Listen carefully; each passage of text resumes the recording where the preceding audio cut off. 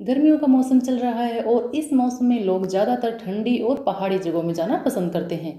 ऐसे में अगर आप भी पहाड़ों पर कुछ सुकून के पल बिताना चाहते हैं, नदी झरनों में नहाना चाहते हैं तो आज हम आपको कुछ ऐसे ही जगहों के बारे में बताने वाले हैं। तो नमस्कार दोस्तों, स्वागत है आपका हमारे यूट्यूब चैनल पे और आज हम बात करने वाले हैं जून जुलाई में घूमने लायक छः जगहों के बारे में। मैकलोडगंज। जब भी हिल स्टेशन पर घूमने की बात आती है तो लोगों की ज़बान पर सबसे पहले मैकलोडगंज हिल स्टेशन का नाम आता है। हिमाचल प्रदेश में बसा, मैकलोडगंज अपनी खूबसूरती के लिए मशहूर है।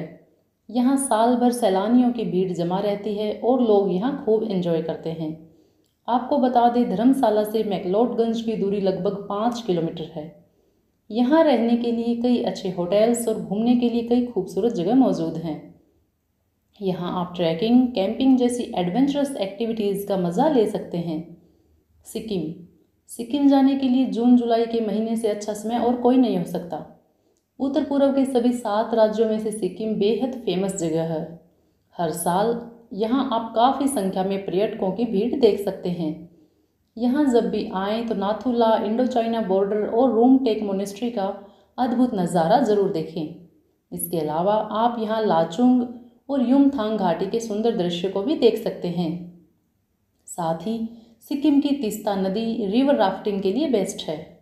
शिमला, जैसे ही गर्मियों का मौसम आता है तो सबसे ज़्यादा लोग शिमला का ही रुख करते हैं। Shimla Mall Road, Christ Church, Kufri, Chail, Narkanda, ताता पानी के लिए काफ़ी फ़ेमस है। यहाँ आप लोकल मार्केट में जाकर खरीदारी भी कर सकते हैं।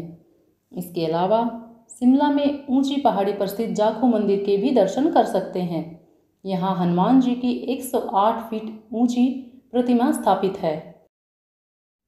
मेघालय। हर साल देश के लोग ही नहीं, विदेशी भी इस जगह पर घूमने के लिए आते हैं। मेघालय की बारिश का नज़ारा अपने आप में बेहद ही खास है। एशिया का सबसे साफ़ सुथरा गाँव मोलिनोंग और पृथ्वी का सबसे गीला रहने वाला इलाका मोसिनराम में मेघालय में ही मौजूद है। यहाँ आपको प्रकृति के कई अद्भुत नज़ारे देखने को मिल जाएँगे। अल्मोड़ा।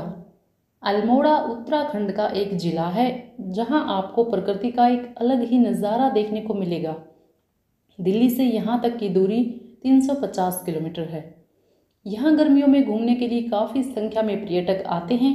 आप यहाँ बेहद कम पैसों में एक अच्छा ट्रिप प्लान कर सकते हैं। अल्मोड़ा में जागेश्वर मंदिर, नंदा देवी मंदिर कसार देवी मंदिर और स्वामी विवेकानंद मंदिर देखने लायक दर्शनीय स्थल हैं। लेंसडाउन अगर आपको पहाड़ी जगहों से बेहद प्यार है तो आप शहर के शोर से दूर लेंसडाउन में सुकून के कुछ पल बिता सकते हैं। उत्तराखंड के लेंसडाउन से अच्छी जगह आपको और कहीं नहीं मिलेगी। यहाँ कई पुराने मंदिर, चर्च, प्रकृति के शानदार नज़ारे देखने को मिलेंगे। हसीन वादियों वाली इस जगह को देखने के लिए पर्यटक यहाँ खींचे चले आते हैं।